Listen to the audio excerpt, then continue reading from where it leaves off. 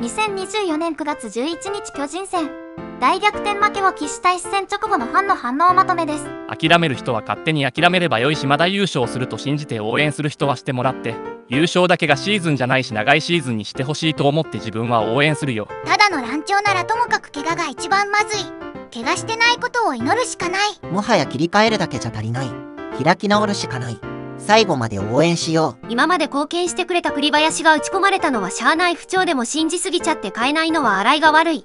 まだシーズン終わったわけではないからチームを信じて応援することや絶対いける。本当に苦しいとしか言えないです。今までやってきたのにここに来てこんなことになるのは苦しいしか言えないです。今日の展開で負けるのはもう今年は諦めた方がいいかな。勝てた試合だったな栗林は反省してくれ。1イニング12点取られた時以上に応えるわあの時はシーズン序盤だったけど今回は優勝目前からのこれだから余計にね。こんな状況でしたが最後まで現地いました。応援してるから乗り越えてくれること信じてます。栗林が2者連続フォアボールの時に誰もブルペンで投げてなくてさすがにイラついた。栗林が打たれるのはしょうがないけど今日の負けは首脳陣の問題でもある。頑張って A クラスには入ってくれよ。現地いました。ぶち切れ新幹線帰宅してます。本当にお疲れ様です。県外ですか？